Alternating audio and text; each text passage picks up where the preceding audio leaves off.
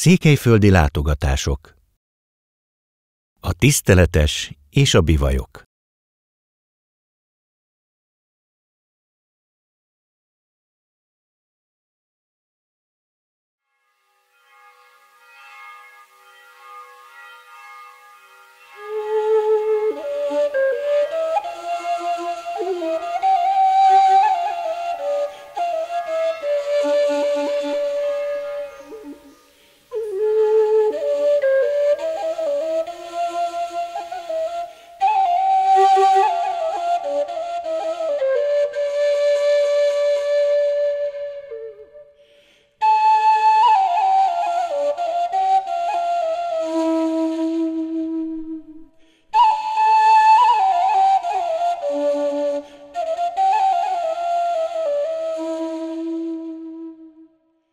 tiszta és érintetlen táj csendjében csak a harangok kondulásának magasztos zúgását röpíti tova a szél az óriási legelők felett, és a távolból a dagonyázó bivajok elelcsukló bőgése figyelmeztet, hogy talán nem is oly kihalt-e táj, mint ahogy az ember azt gondolná.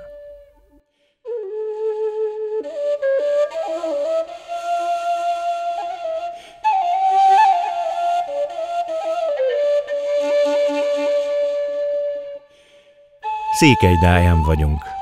Az alig több mint 250 lakosú település Székelyudvarhelytől 22 kilométerre délre az Égepatak völgyében fekszik. Az első írásos említése az 1333-as pápai jegyzékből maradt fent. A falu nevének eredetére utaló monda szerint egykor tündérlányok jártak e tájon, Klára, Dála és Ramocsa. Mindhárman a környék egy-egy varázslatos részén alapítottak otthont. A középső Dála számára különösen kedves volt ez a vidék, és többször vissza is tért erre a helyre. A telepün is így kapta a nevét Dáláról.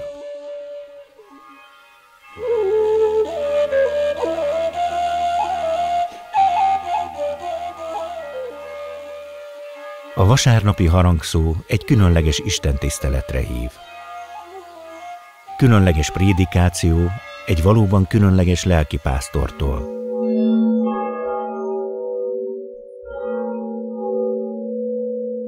Amikor látta, hogy Péter és János a templomba akarnak bemenni, alamizsnát kért tőlük. Péter pedig, amikor a szemeit reálvetette Jánossal együtt, így szólt hozzá. Nézd reánk. Az annak okáért még jobban odafigyelt rájuk, remélvén, hogy valamit majd kap tőlük. Péter pedig így szólt. Ezüstöm és aranyam nincsen nékem, hanem amim van, azt adom néked. A názereti Jézus Krisztus nevében kelj fel és járj. Fünöp Szabolcs tiszteletes élete és munkája valóban rendkívüli, és valóban tiszteletet érdemel. Mire a település apraja nagyja ébredezni kezd, ő akkorra már túl van a munka dandárján, és a templomba szinte a falu határában lévő legelőről érkezik az Isten tiszteletet megtartani. Arról a mintegy 25 hektárnyi legelőről, ahol azokat az óriási fekete állatokat megpillantván, az idegennek első látásra bizony földbe gyökerezik a lába. Bivajok. Ocsódik fel a hívatlan látogató. Bivajok ám a javából. Bivajok, melyeket a tiszteletes ugyanolyan jól, magabiztosan, óriási hivatástudattal és kitartással terelget, akár csak a közösség híveit, az ugyan valóban rögös, de tanulságos és gyönyörű úton az örökkévaló országa felé. Hívást éreztünk, hogy Székelyföldön éljünk, mind a ketten, volt egy ilyen romantika bennünk Székelyföld irányába, és azért olyan gyakorlati megfontolások is vezettek, pontosabban ez nem is annyira gyakorlati, mint inkább lelki, hogy nekem a Kolozsvári Protestáns Teológiai Intézetben valahogy mondjuk úgy 90%-ban székely barátaim voltak, és maradtak meg ezeknek a barátságoknak a nagy része mind a mai napig. Úgyhogy valamilyen vonzódás volt még egészen gyerekkoromtól Székelyföld irányába, és amikor megteremtődött a lehetősége, hogy ebbe a gyülekezetbe, ebbe a templomba jöjjek, Teljesen mindegy volt, hogy kik élnek itt, és hányan vannak. Felszettük a sátorfánkat, és, és itt találtunk új életre, ezelőtt 21 esztendővel. Én nem ezen a vidéken születtem, a feleségem sem, mind a ketten alföldiek vagyunk. Én inkább az Alföld északi részéről, Szatmárból, egész pontosan Szatmár németi városában születtem és nevelkedtem, a feleségem pedig Békés Csabán, kicsit délebbre. A hívás először a templomból érkezett, amiről akkor még csak a kazettás mennyezet néhány felvételét ismertük, és azt, hogy milyen páratlan érték. Aztán, ahogy az évek teltek, kinyílott a szemünk a tájra is, ennek a csodálatos székelyföldi táj, menti tájnak a gazdagságára, és különböző barátaink segítségével, akik közül kiemelkedik Lantos Tamás és Zaja Péter, előbb a gyümölcsészet felé kacsingattunk, annál is inkább, mert a Leány Egyház községben, mint egy két kilométerre fekvő égében egyik lelkipásztor, Lévita lelkipásztor elődöm a 30-as, 40-es években maradandót alkotott gyümölcsészet terén is, de mindenféle más téren is. Úgyhogy az ő nyomdokain haladtunk, itt gyümölcsészeti kalákákat szerveztünk, kitakarítottuk újra, élesztettük egy kicsit, megpróbáltuk újraéleszteni Szabó Mózes valamikor égei Lévita lelkipásztor örökségét. Aztán pedig az állattenyésztés felé vagy hát előtt párhuzamosan, aztán egyre inkább az állattenyésztés felé fordultunk. Ez az életforma, mint egy 21 éve, gyakorlatilag az ideköltözésükkel kezdődött, mondja Fülöp Szabolcs tiszteletes. Juhok és egyéb állatok tartásának kipróbálását követően a lovak és a bivajok maradtak meg, és váltak szívüknek legkedvesebbé. Először 2004-ben vettünk egy kis tehénkét, aztán egy csikót, és aztán 2007 májusában lassan mindenből bivaj lett. Kacérkodtunk juhászattal, de egy néhány juhunk volt csak. Tehát egy kicsit a, a hagyományos székely ember önellátó gazdálkodásából igyekeztünk feltérképezni azt, hogy mi szól hozzánk, és a bivaj maradt meg, és a ló ebből. A bivajoknak az a hihetetlen nagymértékű ragaszkodása, szeretete, és maga a bivajtei íze volt az, ami teljesen rabolejtette őket. Ha valakit megszeret egy bivaj, akkor az rendkívüli módon ragaszkodik hozzá. Ez a ragaszkodás azonban nem marad mindig egyoldalú. Az ember ugyanúgy, vagy még jobban megkedveli az állatot, mint ahogyan ez vele és családjával is történt.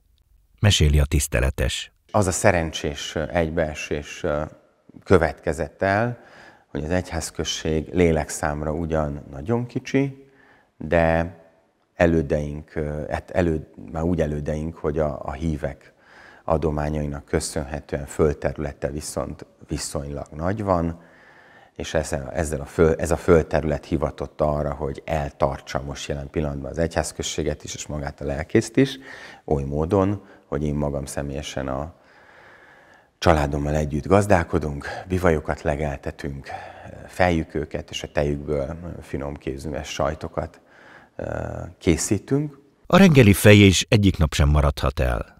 Legyen az ünnepnap vagy hétvége, ugyanúgy el kell végezni. Tarkelli, az sincs már benne. Tudod, melyiket nem látom itt, Zsuzsi? Hát uh, akkor is megfejjük. Bori? Mi van Eszter? Csodálkozol? A tiszteletes mindennap hajnali öt órakor ébred nagyobb gyermekeivel, akik szintén segítkeznek a fejésben. A tej legtöbbször még aznap, de legkésőbb másnap feldolgozásra kerül, melyből joghurt, vaj és kézműves sajtok készülnek. A kínálatban megtalálható kemény és látsajtok is egyaránt, a mozzarellától a burattán át, egészen a hosszan érlelt, több éves érlelésű sajtokig, de az ízesített friss látsajtok és a faszén bevonatú látsajt, vagy az ízesített füstölt félkemény sajtok is nagy népszerűségnek örvendenek a vásárlók körében.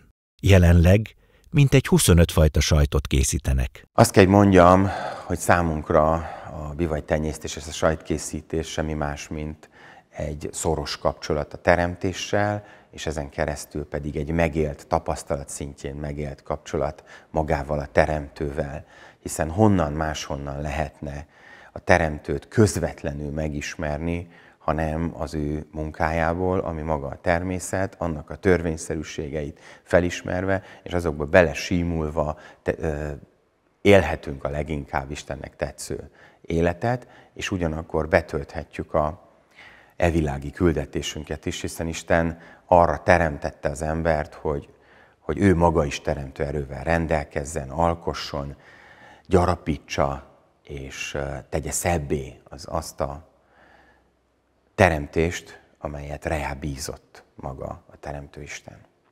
Gyönyörű példája ez a család, a hivatás és a megélhetés megvalósításának, az Istenben való hit megerősítése által. Most említettem, hogy lovakat is tartunk, nem is, nem is egyet-kettőt, hanem 10-11 ló szaladgál itt. Egy egész ménes van. Nos, számunkra ez, ez a kapcsolat az ős, ősi világgal, hiszen a magyar ember és a ló kapcsolata az gyakorlatilag így jelenünk meg a történelemben. Még egy dolog van, ami a magyar emberhez az ősidők óta hozzátartozik, ez pedig az így feszítés, és a kettő együtt adja a lovasi jászatot, amit még az az igazság, hogy nem űzünk profi szinten, de, de a gyerekeim számára nagyon fontos a régi lovasharcos hagyományok fellevenítése, de egyáltalán csak az, hogy, hogy felünk a lóra, és egy, egyfajta természet közeli természetjárást folytassunk be, hiszen a, a ló és az ember kapcsolat, a, a ló és a természet kapcsolat egészen más dimenziókba viszi el az embert. Azért is van ennyi ló, mert egy tenyésztési programba is részt veszünk, ami nem kevesebbet tűzött ki céljául ez a program, aminek mi részei vagyunk, mint hogy olyan újra próbáljuk támasztani azt a ló típust, mely még fajokról nem beszélhetünk ezer évvel ezelőtt, amivel honfoglaló őseink, vagy talán még korábban a szkíták eh, rendelkeztek, és olyan tulajdonságokat próbálunk ki újra felfedezni ebben a tenyésztési programban, amely olyan nagyjá tette elődeink lótenyésztését. Egészen csak egy példát említek, Mátyás király korában oklevélben maradt fönt az, hogy Mátyás király írta személyesen, hogy milyen nagyra tartja, és nagyra tartja egész Európa a magyarok lovait, amelyek egész Európát lenyűgözték állóképességükkel, kezelhetőségükkel, de még akár szín, színvilágukkal is.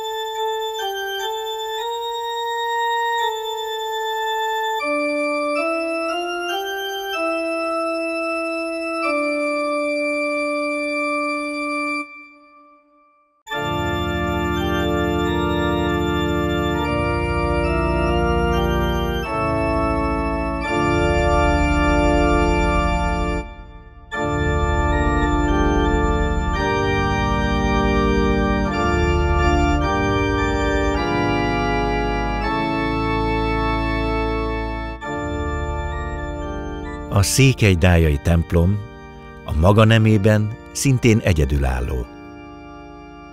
A 14. század második felében épült templomról a tiszteletes beszél. Székelydáján vagyunk, egy olyan templomban, amely egy nagyon erős mezőnyben, itt 10 kilométeres körön belül is kiemelkedő jelentőséggel bír. És csak hogy érzékeltessem, milyen ez a mezőny, 10 kilométerre nyugati irányba van Székely Derzs, a maga világörökség erőtemplomával, a másik irányba, kelet, észak-keleti irányba, a Humorút karácsonyfalva, a maga csodálatos falfestményeivel és kazettás mennyezetével, de mondhatnám északi irányba, felső boldog falvát is, ahol egészen a 11. századig nyúlik vissza az építése, és ott is csodaszép freskók és, és párját ritkító festett kazettás mennyezet van. Székelydája építés története egészen a 13. század második feléig nyúlik vissza, akkor a templom hajó, a mostani templomból a templom hajó épült, ez nem azt jelenti, hogy csak a templom hajó volt meg, hanem az maradt meg egy bizonyos magasságig a templom hajó falai. A déli falon a Szent György legenda töredékével, és az északi falon pedig a Szent László legendának a szintén töredékével, de szerencsénkre a portrék szintje maradt meg, és jól rekonstruálhatók a különböző jelenetei a Szent László legenda falkép ciklusának. Bár azt mondtuk, hogy az építése a 13. századra nyúlik vissza, a freskok azonban 14. századiak. Ez nem jelenti azt, hogy a 13. században nem volt kifestve, meg is maradtak, mint egy tenyérnyi nyomok, főleg az északi falon ebből az időből. Száz év múlva újra vakolták a templomot, újra gondolták az ügytörténeti programot, aminek alapján újra kifestették freskókkal a templomot, és ebből a korból maradt meg ez a két jelenet, persze jóval több volt, de ebből a korból maradt meg ez a két ciklus, ami jól rekonstruálhatóan még a Szent György az felirattal ellátott is. Azért tartom fontosnak megjegyezni azt, hogy száz éven belül kétszer volt újra festve a templom, hogy egy kicsit gondolkodjunk el azon, hogy Közép-Európában a magyar királyság, hát nem éppen a központjában voltunk akkor sem, bár nem volt ennyire elfeledett hely Székely-Dája, mint ahogyan ma tűnik annak. De volt arra mód, és a mód alatt értem a anyagi lehetőséget, de a szellemi igényt is, hogy száz éven belül egy ilyen kis templomban is újra fogalmazzuk azt az üdvtörténetet, amely számunkra nyilvánvalóvá vált tapasztalati úton és a lelkünk ismeretszerzésének útján. Ez is bizonyítja azt, hogy a Magyar Királyság az Árpád-korban, sőt egészen Mohácsig Európa vezető központi hatalma, mégpedig úgy fizikai, mint lelki, mint szellemi tekintetben. Ha idejön nyugatról Abu Hamid al-Garnati, akkor azt mondja Magyarországról, hogy Magyarország az a hely, ahol a legkönnyebb és a legjobb élni. Ha egy francia püspök vendégeskedik a 15. században Visegrádon, akkor úgy írja haza a levelet, hogy kelt Visegrádból, a földi paradicsomból.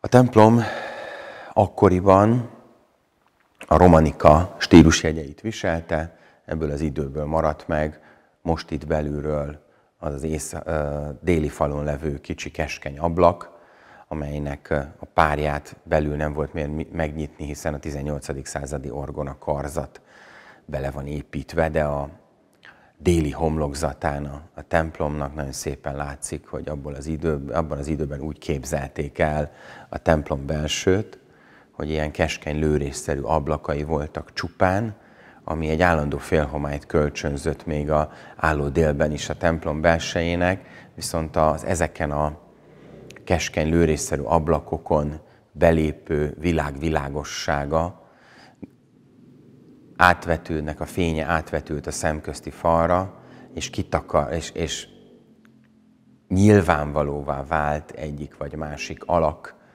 a szemközti fal kép legenda ciklusán, és így módon egy napfelkeltétől napnyugtáig, mint egy leolvasta nekünk a fény, a freskóknak az üzenetét.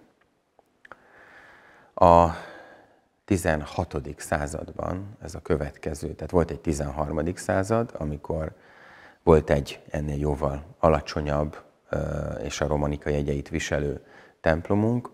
A 16. században átépítik ezt a templomot immáron gótikus stílusban. Nagyjából a mostani formáját nyeri el, kivéve a toronynak a magasságát, amelyet majd csak 1802-ben építenek ilyen karcsú, égben nyúló tűszerű tetővel. A 16. század első 25 évében Barlabási Lénárt Erdély Alvajda valószínű patronátusával, hiszen a szentély festett boltozatán ott találjuk az ő címerét, hét másik címerrel együtt. Átépítik, mint mondottam, gótikus stílusban, és ebből a korból való a templom mindez ideig páratlan ékessége, az a reneszánsz szentély boltozat, amely ből jelen tudásunk szerint nem nagyon találtak még egyet Közép-Európában, ami azt jelenti, hogy templomban, ekkora felületen nem nagyon maradt fent ilyen jellegű reneszánsz boltozat festés. Sokkal inkább ezek a zöld, uralkodó zöld színű levelek egy lovakteremben, és volnának méltó helyen, legalábbis ezt érezzük, ugyanakkor mégiscsak a 16. század első 25 évben úgy gondolták, hogy a templom szentélyében, a legszentebb környezetben van ennek a helye.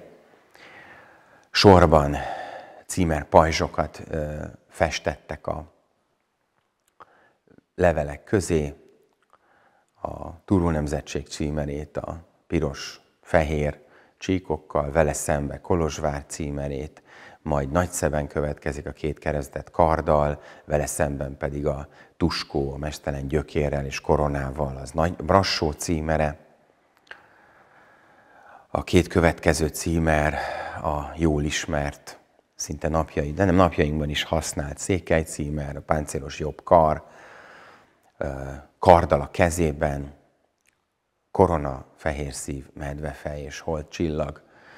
Alkotják mindazt, ami a kardon és a környezetében van. Vele szemben a szászok címere, és az utolsó két címerből az egyiket, a bölényfejes holdas csillagost, azt már ismerjük, az Barlabási Lénárd Erdélyi Alvajda címere, aki a 16. század első 25 évében viselte ezt a nagyon magas méltóságot, vele szemben pedig részben kortársa, Jageló Ulászló királyunk cím, oroszlános, litvánsasos, és nyilván Turul nemzetség sávjait viselő címerét találjuk, de nem csak címereket látunk itt a növényindák között, hanem egész alakos emberi ábrázolásokat, időnként csak fejeket, időnként meg egy virág kehelyből egy nő alak nő ki, egészen pontosan öt van belőlük, és jó okunk van feltételezni azt a reneszánsz világában, amikor nagyon szerették az antik mintákra való hivatkozást, és mindezt egy asztrológiai rendszerben képzelték el elhelyezni. Ez a klasszikus hétbolygó rendszer emberi alakban megjelenített, idegen szóval antropomorfizált alakjaival találkozunk. A klasszikus hétbolygó, ugye az hét szabad szemmel látható bújdosó csillagból áll, Fazekas Mihály szavaival élve, itt csak ötöt találunk meg. Nyilván kettő hiányzik, elég jól azonosítható módon középkori kódexek ábráival összehasonlítva. Merkurt látjuk, Jupitert látjuk, egy turbános, egész alakos török képében, Marst látjuk itt a mennyezeten, majd egy hatalmas Saturnus kalapban, a székelyek csillaga néz ránk emberi alakban, és a virágkehelyből kinövő nő alakban pedig Vénuszt tisztelhetjük, hogy a nap és a hold, ami ebben a rendszerben önmaga is bolygónak tételeződik föl, miért hiányzik, ez egy nagyon érdekes kérdés, és nagyon messzire vinne el bennünket.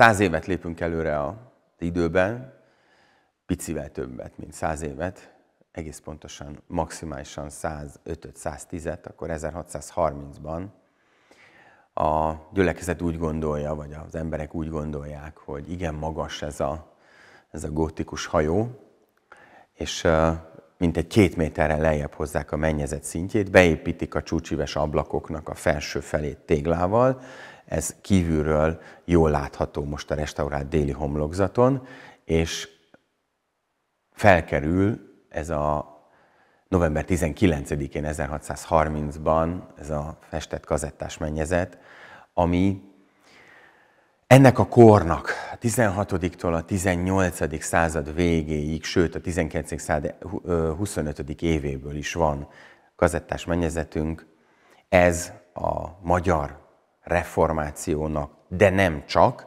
nyilván elsősorban a, reformációnak az a művészeti irányzata, amivel hozzájárult a magyar és az egyetemes művelődés történethez, nem is akármilyen szinten. Sajnos a mai művészet történet írás nagyon kevés kivétellel ezeket nem a megfelelő helyén kezeli ezeket a csodálatos ábrákat.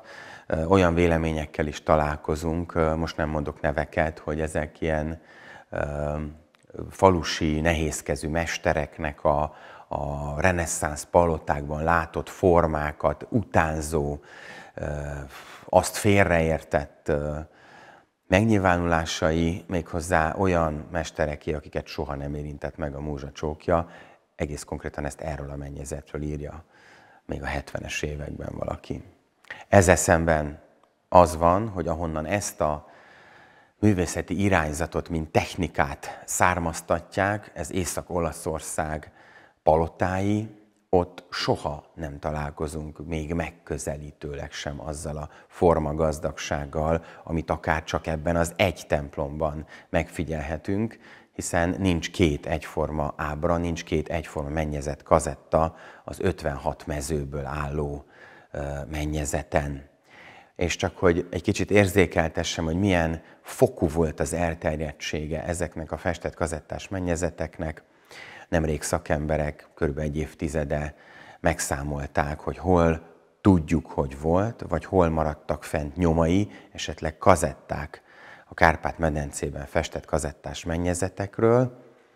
Nos, talán úgy fogalmazhatnánk, hogy könnyebb megmondani azt, hogy hol nem volt, mint azt, hogy hány helyen volt, és a jelenleg fennmaradt anyag is templomonként mondjuk 50 és 70 kazettával számolva, de ennél van úgy, hogy van 200 kazetta, a tízezes nagyságrendet éri el, már ha a kazetták számát, a festett kazetták számát tekintjük, és azt kell, hogy mondjuk, hogy ennek a művészeti irányzatnak a motivum világa a legszorosabb összefüggésben a magyar nép művészettel van, annak nem csak ábrázoló, hanem szöveges ágával is, tehát a legkönnyebben ezeket a, az ábrákat a magyar népmesekincsből, a magyar mondavilágból, hímzéseink világából, balladáink világából és a néphitből ö, tudjuk megérteni, hogy mit keresnek ezek.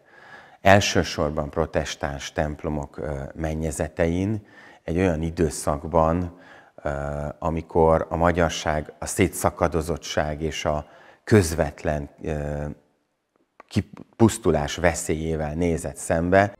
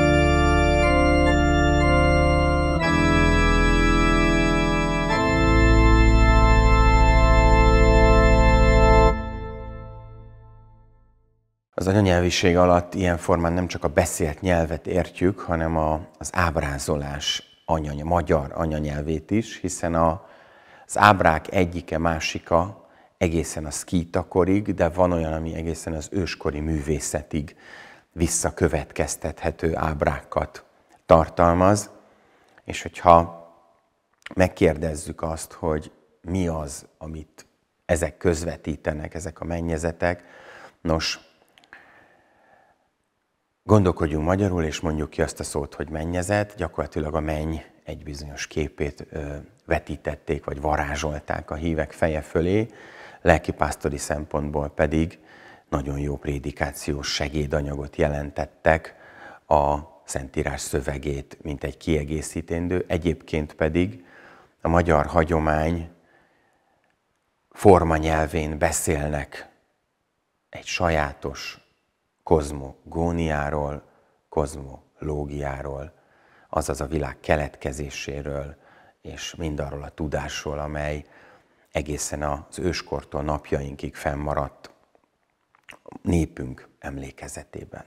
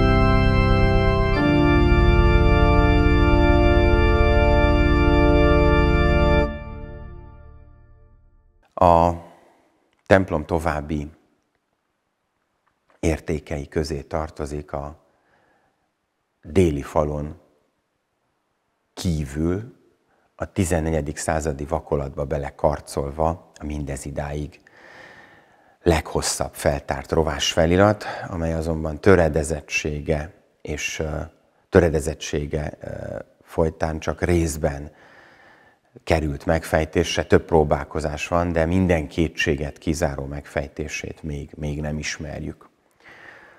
A templom északi külső falán szintén két különböző korból, a 13. és a 14. századból freskó maradványokat találunk.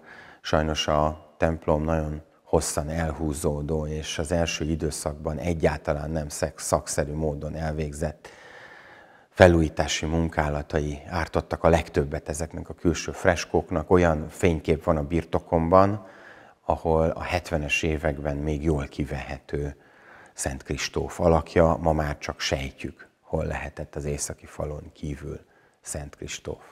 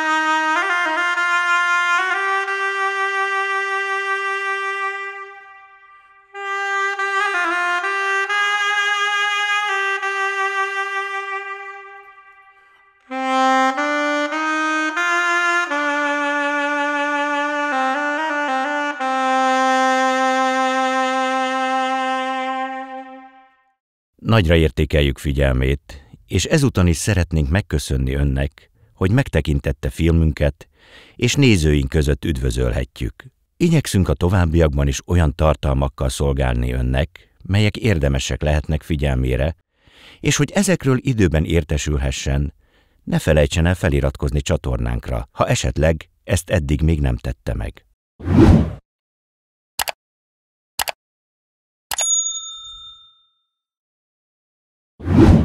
A feliratkozás gombot a videó alatt találja meg, melyre ha rákattintott, az ezt követően mellette megjelenő kis csengőt is megnyomva, azonnal értesülhet legújabb tartalmainkról. Ha kérdése merült fel filmünk megtekintése közben, vagy csak a témához kapcsolódó információt szeretne közzétenni, megjegyzést hozzáfűzni, kérjük ne habozzon azt megírni itt, a videó alatti komment szekcióban. Tetszését vagy nem tetszését is kifejezheti a videó alatti like vagy dislike gombok valamelyikének megnyomásával. Számunkra fontos az ön véleménye is. Köszönjük visszajelzését!